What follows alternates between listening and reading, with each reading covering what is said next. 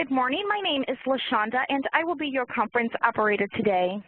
At this time, I would like to welcome everyone to the APM Global User Community Webcast. All lines have been placed on mute to prevent any background noise. After the speaker's remarks, there will be a question and answer session. If you would like to ask a question during this time, simply press star, then the number one on your telephone keypad. If you would like to withdraw your question, press the pound key. Thank you. I will now like to turn today's call over to Mr. Keith Palmer. Mr. Palmer, you may begin your conference.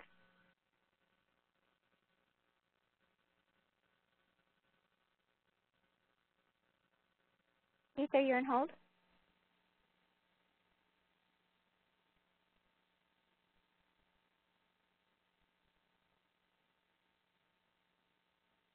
Keith, are you on mute?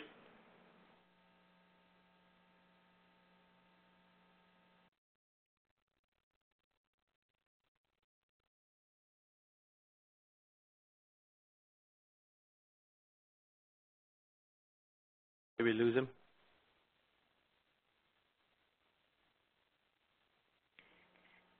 Uh, Manish, uh, Keith was disconnected, so can okay. you uh, make the announcements, please? Yeah, good morning, everyone. Um, thank, you, uh, thank you and welcome to our November 2013 CA APM Global User Community Webcast.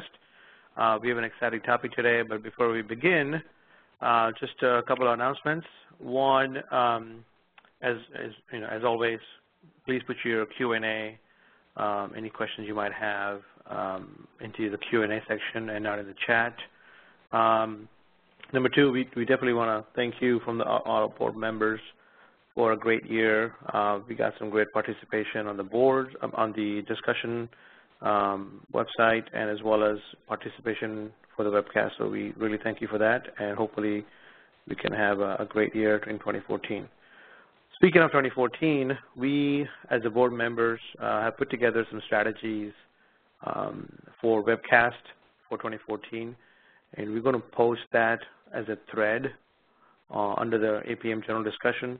So we would want you guys all to please go ahead and um, provide your feedback under that thread once we post it.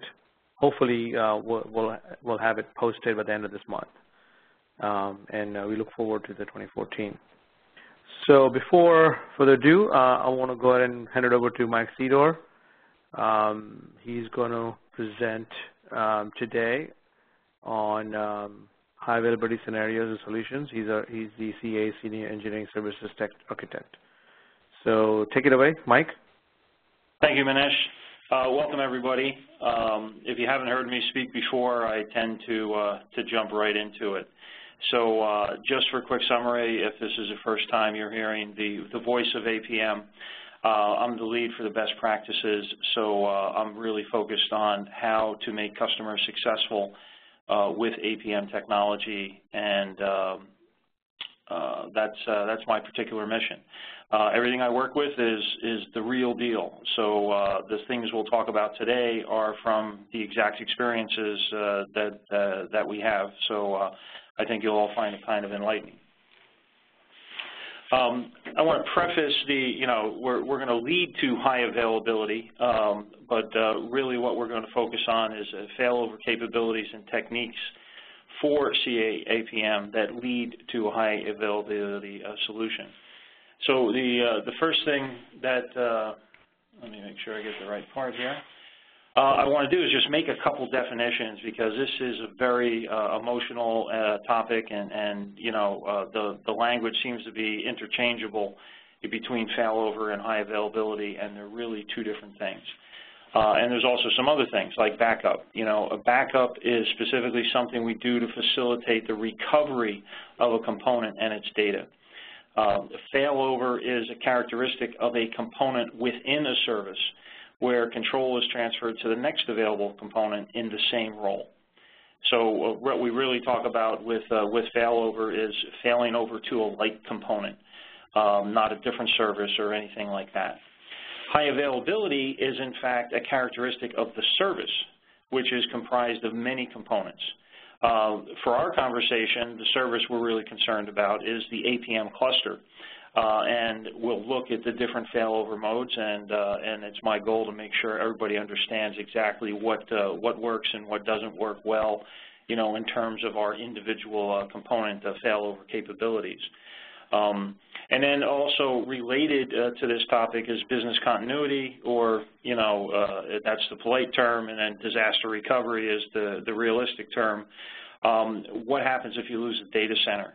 Uh, and this is also a situation that APM is asked to, uh, to participate in.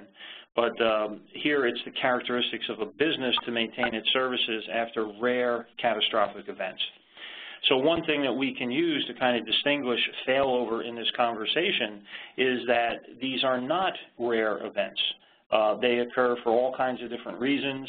Uh, generally, the reasons are a misconfiguration, inappropriate hardware, or a hardware failure. Uh, those are the things that are going to affect a component. And uh, so we want to really understand the strategies on, on how we can manage that for APM to, uh, to good result. Um, so the agenda, first off, this is a complex topic. It's going to go in a couple different ways. There's really no clean way to, to kind of ease into this. So, uh, so I really want to focus on a couple of questions. Uh, what do we need failover to achieve? What does APM offer? What are the hard realities? All right, the stuff we can't uh, uh, get away from, what I basically call the laws of physics. And then what are the best solutions that are available today? And then I'll try and wrap all these uh, things uh, into uh, a couple points to, uh, to close up, and then we'll, uh, we'll take some questions. So when we look at the broad spectrum of, of topics that we can talk about, and, and I just always put this out here to let people know that APM is a very rich repository of interesting things to talk about. Um, and these are all things that happen, you know, six months after your first installation of APM that you start to appreciate and understand and, and address some of these issues. So way down here in the weeds is, is failover and backup uh, strategies, which is what we normally would associate with a pre-production process. So as you guys are planning a deployment uh, or a successive deployment and maybe you're moving on to a cluster or maybe you're starting to migrate a couple of clusters, um, different uh, use cases will then be applied and different goals for what the service should be able to achieve will be considered, and that's usually how these topics come up. These are not topics for the first time you do an install or maybe even the 10th time that you install. Uh, these are really topics that come uh, in what we generally call organizational maturity. So as the organization matures with its use of APM, it starts to become a little bit more dependent on that data and once they have a failure for whatever reason uh, in the environment and APM is uh, unavailable, then the question moves very quickly to, uh, to failover uh, strategies and high availability and, and, and what should be done. Um, it's important to realize, uh, and again, is the easiest way to, to do this is graphically, that it's not the first consideration for people to think about. There's a lot of stuff you have to have in good order before you're even in a position to worry about failover. So uh, I use these as basically, you know, a mantra to yourself to understand what your skills and capabilities are. You know, I can deploy agents, I can tune agent configurations, I can health check my APM environment. Those three things alone are probably 90% of what, you know, causes a problem and pushes people to consider failover as a quick way out. But really, there's no quick way out. The failover solutions become uh, very expensive, so they're not going to be an attractive way compared to learning how to health check the environment and better manage the capacity that APM provides. So as we continue to go up through the different skills that you'll have around APM and up to the point where, you know, we know how to, to get that, gather baselines, validate dashboards, audit applications, and plan these follow-on deployments, now you've really got a grasp of all the principles underneath to have a, a reasonable conversation about failover in the context of the solution architectures that you'll be considering. So this is not something you do for two or three collectors, maybe not even one or two clusters. It's something you start to think about when you've got maybe five clusters. Uh, and, and a business may have a different emphasis for what they really expect the, uh, the information to be available at uh, in terms of, you know, a guaranteed service level. So I usually call this managing the APM lifecycle. When you're focused on uh, the issues of technology selection, training, architecture, sizing, failover, that's when this topic really comes to the fore. Um, so it's important to realize that as we talk about failover and, and you haven't even thought about these yet, that's the perfect situation to be in. You should be building up these other skill sets and having these other experiences uh, deployment-wise to start to build uh, not only uh, experience in using the technology, but a strong uh, user base of people who are consuming the metrics information. And it's really when they start to become more dependent on the information that the pressure for a, a, a failover, a fault tolerant, a high availability, these are all the terms that folks will use, that pressure will start to become uh, important to the point where they're going to be willing to make investment to see it through. So what do I need failover to achieve? And really, this is a big stack of priorities, uh, and we have the APM components up at the top, uh, and then the APM service availability is the next thing underneath that. But this is just really the rule for APM overall. APM information is nice to have, but the application is where you make your money in terms of what you offer your consumers or how you conduct your business. So the service availability and then the application component availability, these are things that need to be addressed and, and you really should have some experience with those before you start to tackle what are the options and, and processes to follow for APM. But underneath these are two very important areas, the network connectivity and then, you know, the basic speeds and feeds of power and cooling. If you've got unreliable power, worrying about failover is a complete waste of time. You're never going to get a good service availability if you can't even have reliable power. Same thing for the network. If your network connectivity is broken, this is going to cause all kinds of performance problems, and failover is not going to do anything to help those situations. Another way to look at that is, you know, in terms of components that can fail, uh, and, and this list is completely without any consideration for APM. We've got a lot of things that are more important than what we want to do with APM. And if we don't have a good answer for some of these other areas, then we've got situations where, you know, we can say and be proud of our APM, yeah, this is completely a failover capable, it's a high availability service. Unfortunately, our apps go down two, three times a week for all these other reasons. Um, so this is, uh, again, from looking at it holistically, you really got to have a good experience with your applications and infrastructure and have that under control before you start to make investments on the APM side uh, in terms of doing something uh, for the component failover. So for the APM service, the component realities are, are as follow. If there's no network connectivity, we have nothing that we can do about that, and we're, we're dead in the water. Everything that we depend on for information is, is distributed. So whether it's the agents, the collectors, the APM database, the MOM, all these things expect to communicate via the network. Um, they're almost never going to be uh, co-located, meaning that the workloads between a collector and an APM MOM are completely different. So if you put them on the same box, you have all kinds of challenges in terms of optimizing the configuration for either one. Um, very often you'll find that the APM database and the MOM are co-located. All right, there's different reasons for that. Their workloads are actually a little bit more similar. But uh, the reality is we're in a distributed environment. If the network is unreliable, we're doomed. All right, there's really nothing that we can do to, uh, to build or, or enhance that. In terms of the platform, you know, for physical, our failover capabilities are minimal. You know, if the platform goes down, there's nothing we can do, uh, nothing we're going to do to detect that. If it's virtual, all right, it's a little bit more reasonable. We can then detect that a MOM has gone down or a, uh, a collector has gone down and actually then, you know, script and take some actions to, uh, the, to remediate that. Uh, that's nothing that's inherent in the product. That's something that you would do outside, but at least you would have a consistency of communication where you could reliably undertake that action. Um, but basically, once we start to have a problem with the platform, our normal impact is going to be a degraded service. And for most of the problems that we get into, our first response is to degrade the service. And this takes a couple different forms depending on the, uh, the type of component we're looking at. If the JVM uh, fails, uh, basically we're dead in the water. We're completely dependent on the JVM, JVM for all our services. There is no, you know, backup uh, uh or failover capability uh, outside of that.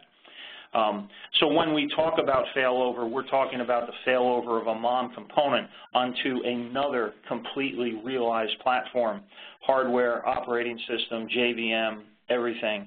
Uh, all those things have to be in place before we're even in a position to, uh, to do something. Um, the MOM, uh, most of the, the, failover capabilities that we have today are really uh, of a manual nature. Um, part of this is because when a failover event happens, um, we actually have a contention for control of the resource. This is something we've only uh, recently solved with uh, what we call a lock file approach. But the bottom line is that uh, making a decision to fail over part of the APM service is not something you do automatically. Uh, you want to understand what the nature of the failure was, and in the case of the MOM, you have to make sure the, the uh, you know, so if the primary fails and the secondary uh, begins recovery, you have to make sure the primary doesn't decide to wake up and and start taking control of the co the collectors and and uh, you know uh, handling the agents and all the other stuff the mom is going to do. So um, it's really we we have to throw a switch to uh, to do anything in, in terms of uh, a failover uh, when the mom is involved. The impact of not having the mom though is is pretty pretty severe in terms of what our stakeholders are going to expect, and that means that we're not getting alerts, we're not getting workstation access. However, all the data is preserved. And that's because it's a distributed architecture. The collectors take care of the data. The mom is only federating access to that data. So uh, in the event we lose the mom, data is still being recorded, but nobody can get access to it, and no alerting is going to be generated for the platform. The APM database, uh, today, uh, we don't have anything. It's, uh, it's really, it's conventional technologies. There's nothing built into the product that helps uh, do failover for this. And the impact if the APM database fails is uh, first the application map and those relationships is lost. Uh, and that's, that's kind of a nice to have thing, but not critical. But then the CEM defects are also being stored in the uh, APM database, and that's really critical uh, in terms of doing diagnosis. So that, that's kind of severe, but today we just don't have a model for uh, doing a, a, failover with the APM uh, database.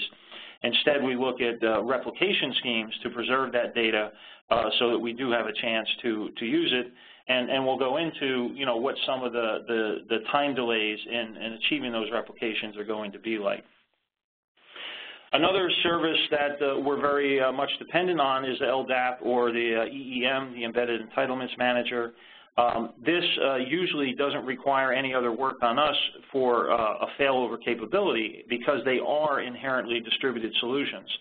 So the, there's nothing special that we're doing. We pretty much assume that that's going to be available. In the event that it isn't, we've lost our primary authentication service. So this is not a, an absolute showstopper because you can have a fallback uh, mechanism, you know, through the, uh, the user information that uh, we uh, configure as part of the base configuration. So there still would be ways to access this if you somehow lost your LDAP infrastructure altogether. Um, but the bottom line, this is a pretty severe situation, and uh, uh, we're not doing anything special to, to take care of it. On the collectors, uh, there's no specific uh, failover capability uh, considered. Um, what we've really done in our model is we let the agents uh, actually take care of failover. So if a collector goes down, yes, we've lost historical data up to 24 hours, uh, but the agents are going to migrate to the next available collector uh, if their configuration allows that. So this is the model that uh, we were originally focused on, is making sure that if an agent was running, it would always find a place to put its data. And this is, of course, because we do very limited storage of the data. Um, so if we haven't been able to transfer the data from the agent to a collector within 30 seconds, we basically drop it, you know, in order to manage uh, our impact on the memory of the application. So, uh, so, but this is something we've, we've obviously had a lot of experience, and this is what the original uh, design uh, for the APM uh, solution was uh, really focused on.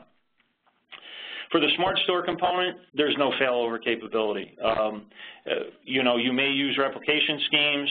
There's other things that we can do behind the scenes to provide some access to the historical data, but basically, you're going to lose uh, up to 24 hours, and, then there's no chance of, uh, of that corrupt uh, of that uh, recovery. If the SmartStor somehow becomes corrupt, all the data is lost. Uh, we really just don't have any reliable mechanism to uh, solve a, a, data corruption issue on the Smart Store, and, and the quickest solution to get the environment back up is to do what I call simply to drop the SmartStor. That is to stop the collector, rename the directory, um, and you can, you know, once you rename the directory, the SmartStor will start up and it will create a new directory, uh, and then you've got a, a clean environment from that point forward. And then you can use the rename directory uh, with a historical SmartStor. So basically a Smart Store that's configured for uh, only looking at old data, not having any agent connections or things like that.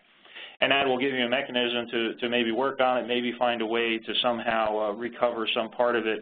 But generally, it's really, really hard to, uh, to recover a Smart Store if it becomes corrupted. Um, the way it becomes corrupted is, you know, badly formed data, and generally a JMX is a, is a tremendous offender for this. Um, programmers get to build the, the type of JMX information that they're interested in. They can export that, and basically we subscribe to that JMX feed uh, and basically take whatever they give us and publish it. And if they give us, uh, you know, malformed data, uh, it is definitely going to blow up a SmartStor, and this is a situation we've run into a number of times over the last couple of years. For the agent, the failover capability is just give me a collector and I've got somewhere to go. Uh, the impact is typically 30 seconds to a minute of data that might be lost, um, depending on uh, how successful it is and, and quickly uh, reconnecting to a collector. But bottom line, this has been uh, part and parcel of the product since the, the initial releases and, uh, and by far one of our most reliable mechanisms. So getting agent from, or getting metrics from the application via the agent, this is just completely robust, provided we have capacity to, uh, uh, you know, to allow them to connect. So whether it's a standalone configuration where they just collect, uh, connect to the next available collector, or a cluster configuration where they go back to the mom and ask for reassignment to available collector.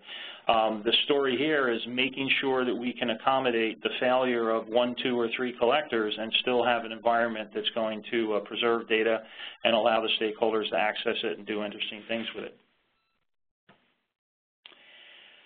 Um, one other way to, to look at things in terms of how much investment or how much effort you want to make is to look at what were acceptable failover intervals.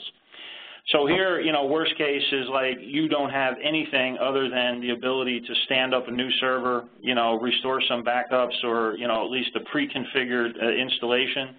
And, uh, and basically, you know, worst case I've seen for this is about eight hours, and it's really, it's no extra cost in terms of processor administration. Um, if I restore a lost resource from backup with a pre-configured server, you know, I can generally get this down to about four hours, so worst case. Uh, if I install a new server and restore backups, but it's in a virtual environment, obviously this is a much lower administration, much more reliable mechanism, but we are talking about many gigabytes of files. So if you've tried uh, playing around with that on your uh, VMware, um, you know, there's, there's a little bit of work uh, that you need to do to make sure that that's a reliable mechanism. If we do something like a continuous replication to a warm secondary server, you know, now we're down to a situation where we'll be about uh, 20 minutes uh, duration to fail over to, uh, you know, a new cluster or, you know, a new set of components. Uh, and that's generally about the best we're ever going to be able to do. Uh, the situation is that when we fail over, you know, a number of collectors to a new mom, there's actually quite a lump of uh, metadata that has to be exchanged between the mom and the collector uh, before it's it's actually uh, fully associated. And when you've got, you know, eight or ten collectors, uh, this can be a huge startup bubble for the mom, which will actually degrade its performance for up to four hours which means slower logins, way slower queries, and uh, potentially uh, missed uh, sending of alerts and things like that. And it's because the, the mom is just saturated with this association workload, uh, which is a, one-time thing uh, until, of course, the, the collector uh, disconnects or does something else crazy again. Um, but in this situation, you know, you, you kind of have to stagger the, the collectors reassociating, and that's generally done at about a two-minute interval. So if you got 10 collectors, you know, you're looking at 20 minutes, and, and that's just the laws of physics. Um, if we look at replication, you know, as an ongoing activity for, for backup and, uh, and, and clustering types of efforts, then we're looking at putting about two minutes latency into the process and also, you know, having a pretty large administrative uh, expense to go along with uh, maintaining that type of activity.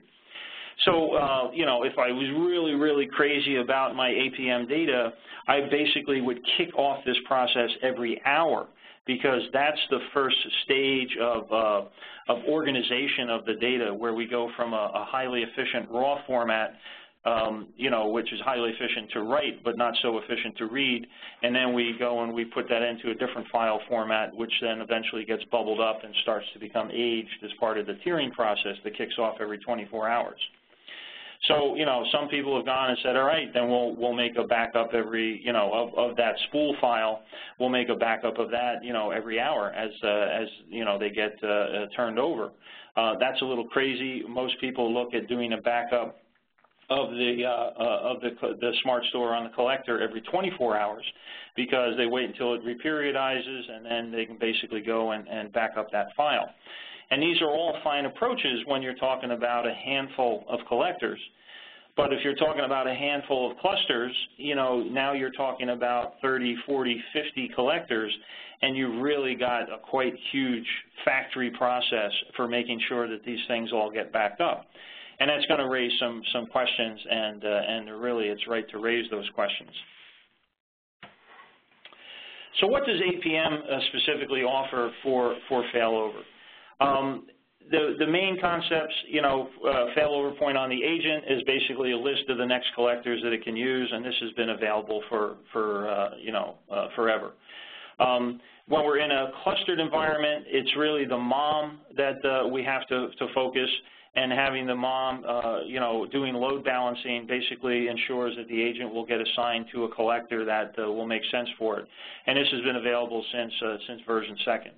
Uh, the mom, the, the, collector participating in this kind of cluster, you know, uh, following the mom's uh, load balancing queues has also been available since 7. And then having a, a you know, manual process for failing over the mom has been available since 7. For the APM database, uh, this is just a traditional replication. You know, we're using Postgres technology. Uh, you have an option to use Oracle. So whatever tools they have available, uh, that's really what, uh, what you're going to do to take care of that. And it's generally going to be on a 24-hour cycle, you know. So you've only got one APM database per cluster. So, uh, so if you've got four or five clusters, you've only got four or five of these to back up.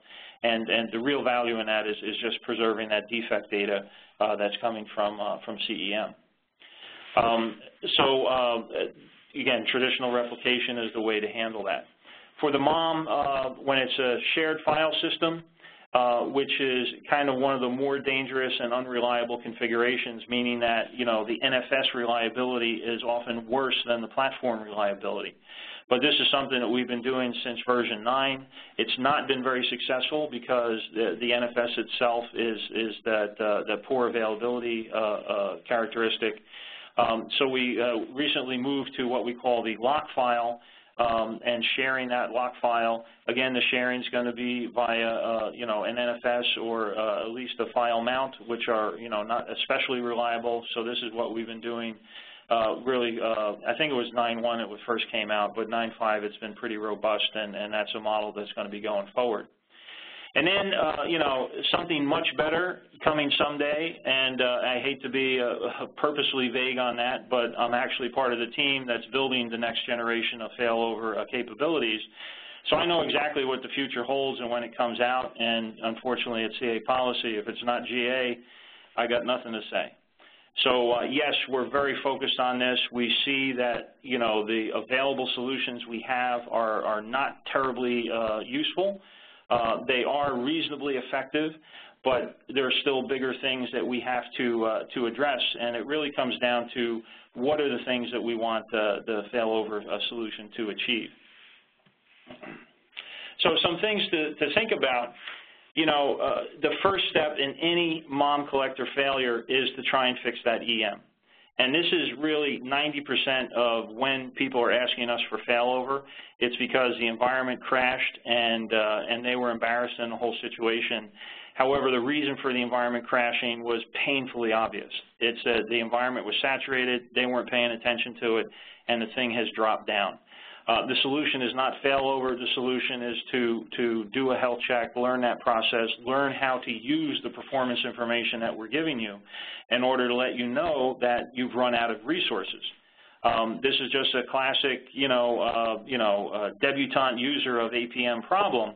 Um, people seem to think that because we can survive almost anything, that we'll grow forever and, and we don't. We have a very hard limit in terms of the number of metrics or number of agents that we can support. Uh, we have very hard requirements for the hardware that's needed, uh, especially people who are moving to virtualization. Their first virtualization effort with uh, APM almost invariably results in a disastrous failure and a massive escalation. Um, and this is really, it's just people getting used to using those technologies and maybe going a little bit too fast in terms of how they deployed it before they actually had uh, reasonable uh, experience. The second thing is make sure your license files are available for backup EMs. And, uh, you know, unfortunately, accessing a license and getting that bit of information, um, you know, we don't count the number of enterprise managers for license purposes, but we do have a process in place that says a particular license for an enterprise manager is locked to that node. So if you're going to have additional, uh, you know, scenarios that say additional hardware is going to be made available, you've got to have those licenses made available up front. Uh, otherwise, you're going to add potentially a couple hour delay into restoring the service, and it could be avoided just with some uh, some advanced planning to uh, to get those licenses. Uh, backup moms, you know, creating a new mom instance from scratch is very fast. Its use of the SmartStor is tiny, so copying is fast it's uh, really not that big a deal.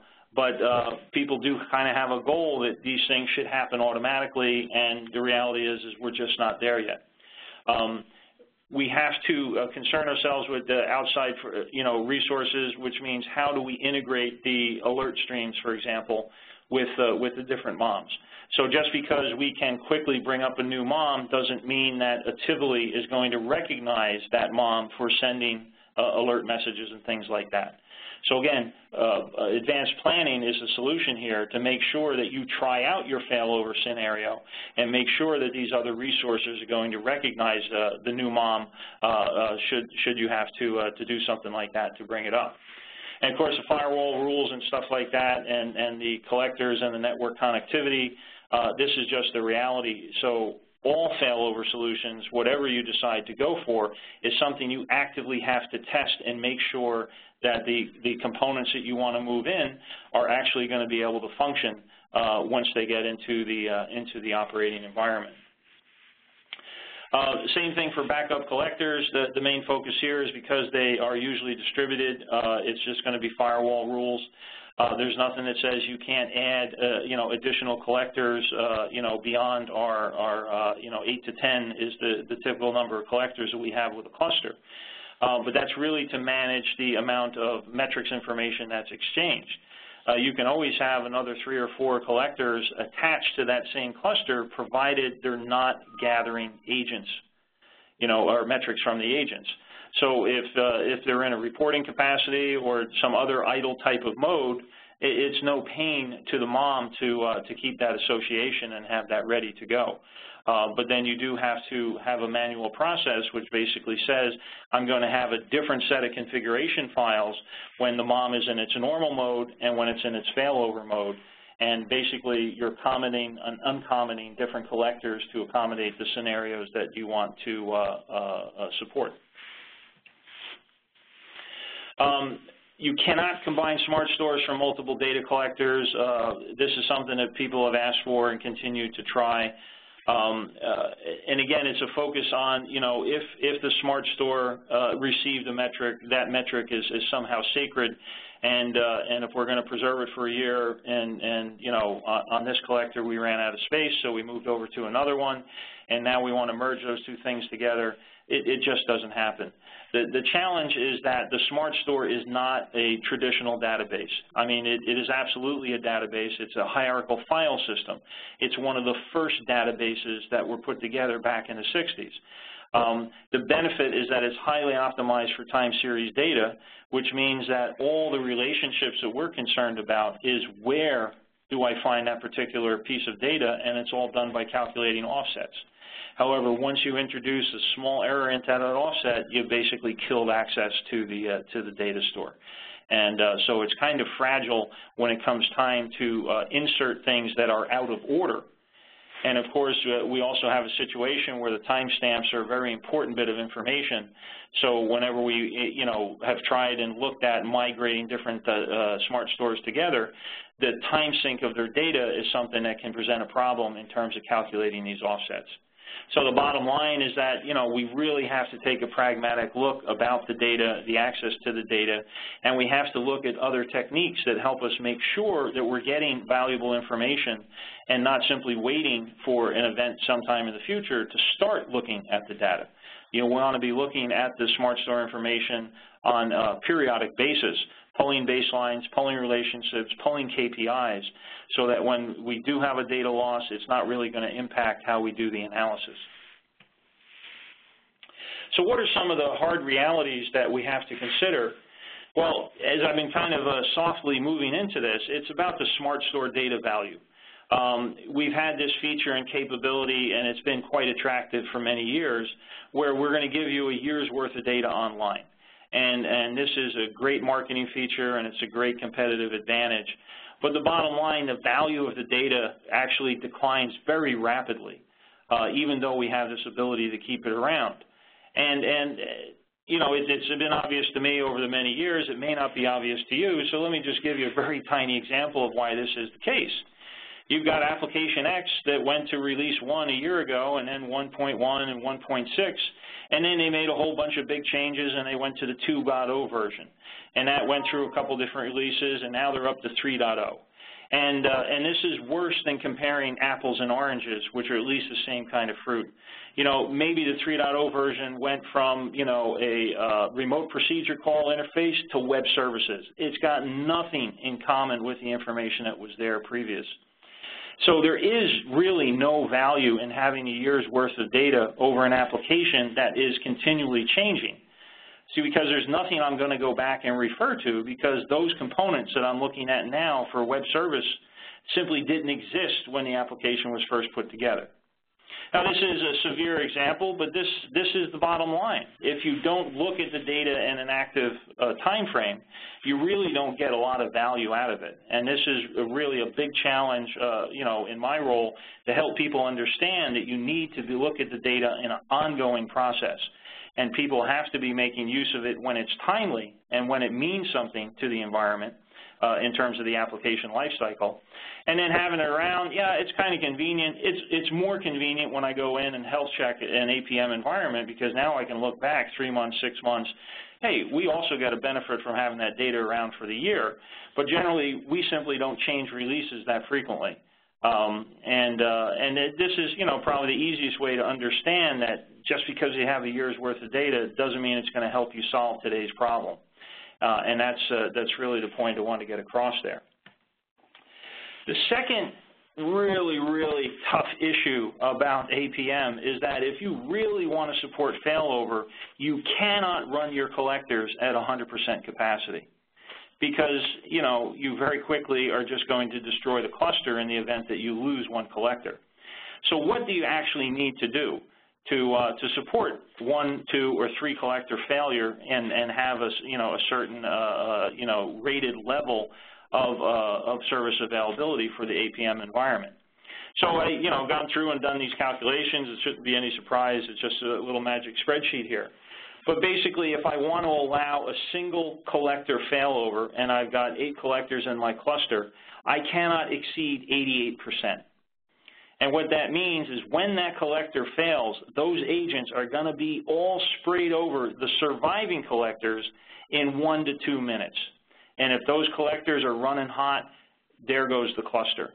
And again, this uh, results in lots of support calls and stuff like that. And uh, when we drill down and find out what's the real cause, the real cause is, the, you know, the cluster was saturated before the problem occurred, and then it just amplified and magnified it, uh, you know, uh, with a, a, cascade of uh, collector failures and ultimately bringing down the cluster.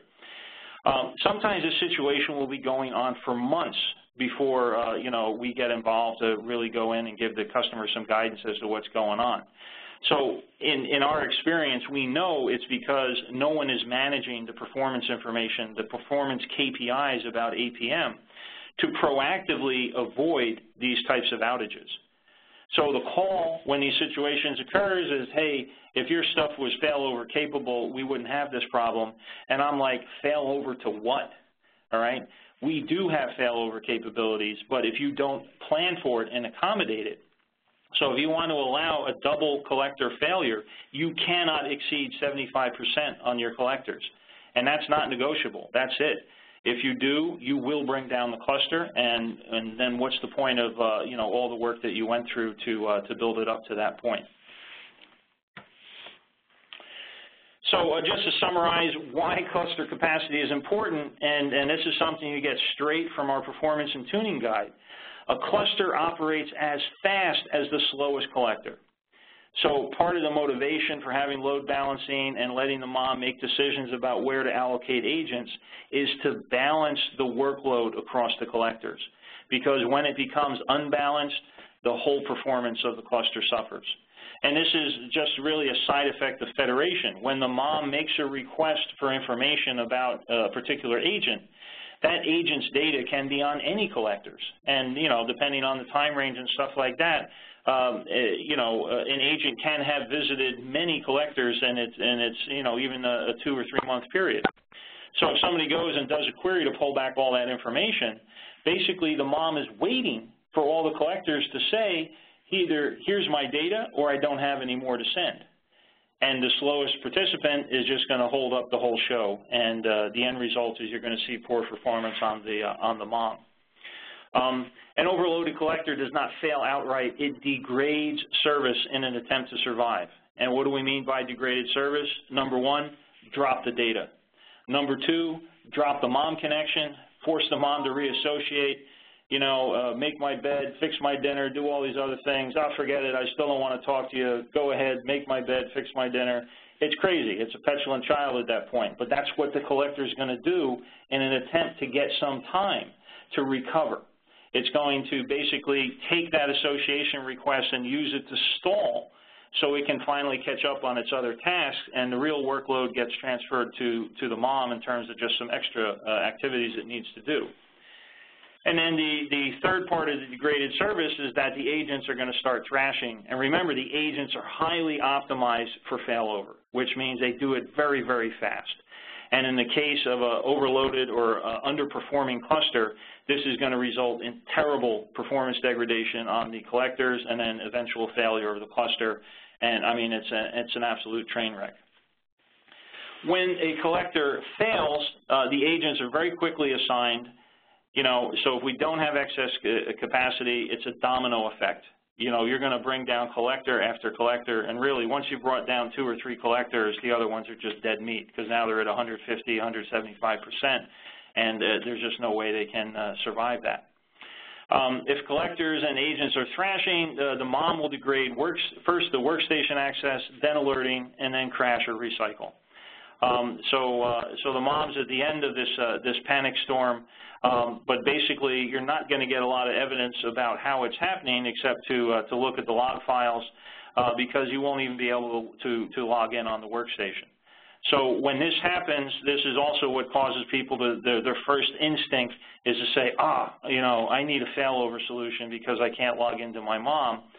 And the reality is, is you can't log into your mom because, you know, you're trying to run eight collectors on, on a box you found on the loading dock, and uh, you just don't have the hardware to make that work. And now it's in a, in a crisis situation, and guess what? The first thing it does is it doesn't let people log in until, uh, it, until hopefully it can turn itself around.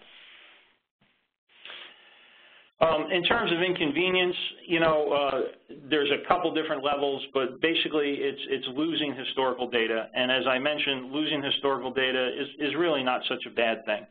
Uh, the emphasis should really be on not so much the preservation of data, but giving timely access to the data and, under, and making sure that people understand how to extract the KPIs, how to use that information, and then apply it immediately to decisions they're making about whether or not an application gets deployed or in the event of a triage uh, incident in production, what are the likely causes that they should look at to, uh, to get that problem uh, uh remediated.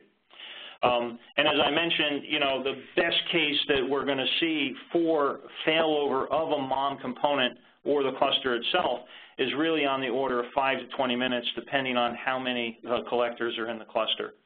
Uh, and that's just that's just the laws of physics in order to start that up in a, in a reasonable time. Um, you know, if we look at uh, MOM in an active-active model, which is one architectural bit that I'll show you, uh, we can shave off about half the time uh, because we've already got part of the collectors associated uh, for a given number of applications. And then automatic failover, it simply doesn't exist. Um, you know, the bottom line, the best thing that we can do is, is have a 5 to 20 minutes loss of alerting, workstation connectivity, additional failures of, this, of a file system uh, are, are, possible. But, uh, you know, it, it, really, it just depending on the size of the, the cluster is what's going to set your recovery time. Uh, whether you use manual techniques or scripts or, you know, pre-stage licenses and stuff like that, those are all to give you the best possible chance. But the worst case is it's generally always going to be in the order of uh, 5 to 20 minutes. So what's, uh, what's an example of the solutions that, uh, that we have today? Uh, the first is a standalone collector failover, uh, which is usually a pair. And, uh, and really everyone who has built these, and I'm looking at 11 years of experience on this particular model, um, they just won't run them at 50% load, which is what you have to do because, you know, when you lose one, the load all drops onto the, uh, onto the survivor. And, uh, and people think that, yeah, we'll just operate that degraded for, you know, an hour or two, and turns out to be four or five. But the first point of degradation is you can't log in to get to the data. And if you do, you, when you try to do a query, it takes 20 minutes to return. So it's all but unusual. You know, it survived, it's still up, but if your only criteria is the system remained, you know, up or available, um, you're actually not doing your stakeholders any benefit because they can't use it. They simply cannot access the data. Uh, if it's a MOM only, again, it's also going to be a pair, and, and you know, successful models today are, are using this shared uh, lock file, um, and, uh, and this next example that I'll show you. But the cluster, uh, what we call MOM and the kids, this is an active-active and where all the collectors are at 49% uh, load, of course, and, uh, and we're not using anything fancy except traditional change control and replication. Um, so basically it looks like this, and the real trick to this model is not something that we're doing with the collectors, it's something we're doing with the applications. So both DCA and DCB have the same 10 applications, but only applications 1 to 5 are active on DCA, and then applications 6 to 10 are active on DCB. So both environments are fully running. Uh, so they're both is what we call an active-active configuration. And they each have the same number of collectors, but these collectors can take the additional load of the applications that are not yet running. So we get to this 40% capacity, you know, or you know, 49, whatever the number is going to be for you, simply by only having half of the environment running. So if we lose data center B for whatever reason, MOM, collector, agents, apps, network, who cares? Then I simply start those other applications up. Those agents associate with the MOM onto the, the collectors, and you have now got 100% of your service available. And you didn't do anything funny in terms of, you know, exotic, you know, uh, potentially fragile solutions, dependent on NFS, anything like that. You've got an environment that's actually going to be quite, uh, quite handy. And the failover time is now just really the time for, you know, if, if uh, say, example, we lost the MOM in, in cluster A, we can have a choice to either restart the applications that we're missing in cluster B or to allow those collectors to reassociate, and that would be done via script with MOM B. So in that case, now we're only looking at half of the collectors to start up, and we got a potential worst case time of down to 10 minutes. In this time, no data is lost. It's simply we have to allow that 10 minutes for the, the clusters to reassociate, and then people would connect in through MOM-B, and they would see their data, and it would be a beautiful time. And this is today really the best way to do failover that gives us all of the features that people want. It gives them a business continuity. It gives them a real emphasis on application failover first and what they can do with the mom. In this case, both moms are up and running, so we're really limited to just the collector reassociation, and we are good to go. So we've got a lot of scenarios that are covered in this model. Uh, clients using this are not referenceable, meaning that, you know, we permission to talk about it, no names can be applied, but this is uh, really the most successful model we have for, for failover today. So I'm going to skip that summary slide here because we're starting to run uh, uh, short on the time, and I just want to close on a couple points. Because uh, I had kind of a funny thing here that, you know, I guess I was spending too much time on the road this la last week. I was in Scotland. It was nice. But um, so I said late show, you know, top five reasons for an APM failover initiative, and and you always know that the you know the first couple are are kind of reasonable, and uh, and the next you know as you get down the list they become unreasonable. So the top five, which is really the number one reason for an APM failover initiative, is because the alerts from APM are the primary source of application status. Um, I have a handful of customers who are at this stage. These are the customers I'm working with to design the next generation of failover capabilities. Um, they depend on alerts from APM more than they do from infrastructure management and that is a rare situation, all right? We all know that there are lots of different alert streams, and APM is really designed to be a partner, but for a couple customers, they have really moved to the next generation and said, APM is all we depend on. That's our best model for getting it. Uh, consumers of APM information have grown tremendously. You know, uh, top reason number four, that means so many people are dependent on getting access to those KPIs, that baseline information, trending what's going on with the performance information, that they, they can't accommodate any more slowdowns on workstation login and stuff like that. Again, a very, very great problem to have and a good reason to consider a failover architecture. Um, number three, we made significant investments to build our data landfill and we are worried that the data might be missing when somebody actually starts to look at it, and, and they're really going to be annoyed at us. Um, and of course, this is not at all a good reason. The, the real issue here is you don't have anybody using the data, and, uh, and it's like, you know, well, boy, when they start, it's really going to be chaotic, so we better make sure that this thing is going to handle the load when they finally figure it out. Uh, this is a very, uh, almost an anti-pattern for a successful APM initiative. Number two reason, and really among the most popular, APM availability is poor for reasons that we cannot explain or prefer to ignore. It comes right back to those that hierarchy of needs thing that I put earlier. If you can't do a health check, don't talk about failover yet until you understand how you dug this hole and drove yourself into it. And then number one, and this is kind of what I use tongue-in-cheek, you know, why are people interested in failover for APM? The data is nice to have. The historical data really is not going to make my business more successful or not. Uh, it's whether people make good business decisions based on that data in the instant, you know, in the couple days.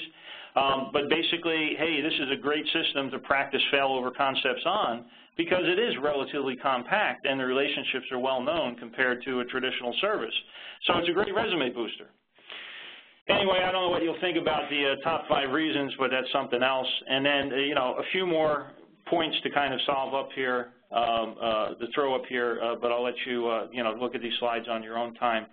Um, value performance data loss, really, you have to use it when it's fresh. The older it gets, it's not going to be that much of a value.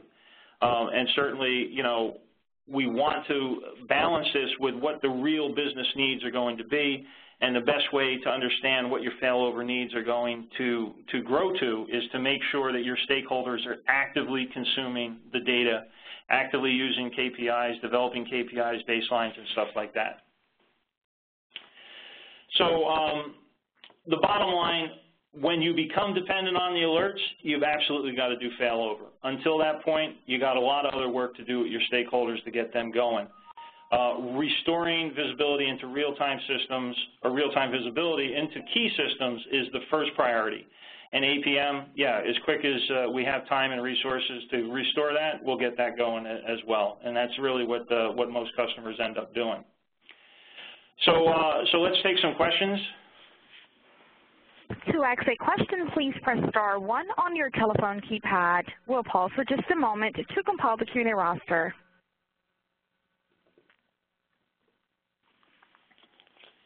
And that's star one on your telephone keypad.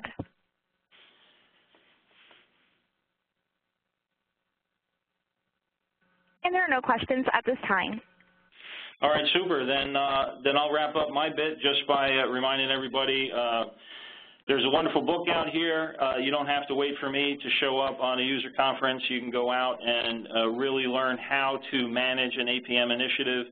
Um, understand more about the different concepts I talked about, but basically how to plan, implement, and, and you know, uh, utilize best practices around APM. Get it at your Amazon, maybe win a Kindle. Uh, we're starting to put the book on there as extra bonus. Um, so uh, just something that should be part of your library. Um, I'll thank everybody for their time, but I think the uh, maybe Kevin will come back in to talk about the survey. Yeah, Mike, um, hey, Manish. Um, one of the questions uh, from the audience was, would you be able to share your slides with the um, community? Yeah, I think, uh, do we normally allow download for these, or I, I can put them up on the community site? Uh, Um, you, there's actually a number of cookbooks and, uh, and other papers that under APM that you'll find on the community site that you guys should uh, take an advantage to, uh, to look at. But, um, you know, um, for, for CA customers, I think, you know, this is a, a fine enough resource to share. So uh, I'll put it up on the community site if, if it can't get downloaded now. Yeah, because usually we, we put the recording up there, but then I think what a couple of the um, community members wanted the actual deck. Yeah, I mean, uh, definitely. You know, the, the the way to get a successful failover uh, proposal is, you know, start with some source material, and uh, yeah, absolutely. Uh, that that's what I try to encourage with uh, with all the artifacts that we make available, you know, for uh, for APM. So whether it's examples from the book or topics like this, you know, um, I really look at them as seed material for starting your own proposals internally. So uh, so I'll make sure that gets up there.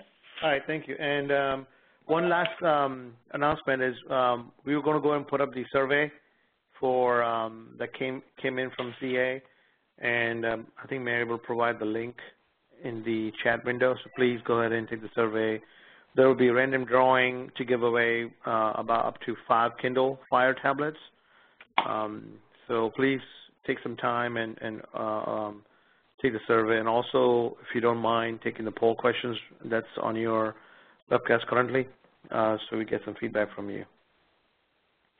So with that being said, um, I hope everyone has a good day and uh, has a great holiday uh, vacation, holiday season. Uh, Merry Christmas, thanks, uh, Happy Thanksgiving, and a Happy New Year. We'll see you guys back in January. This Thank you. concludes, this concludes today's conference call. You may now disconnect.